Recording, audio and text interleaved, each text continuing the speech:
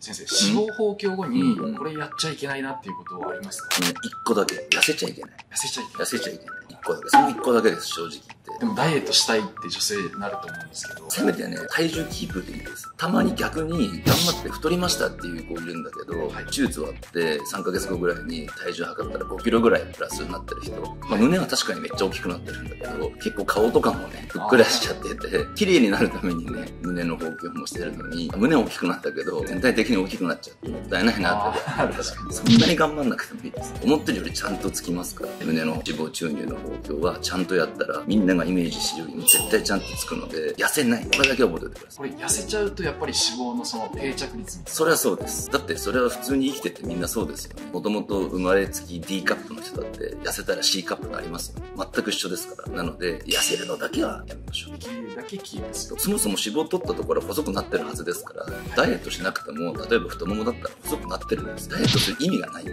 なので、痩せるのだけはダメですね。わかりました。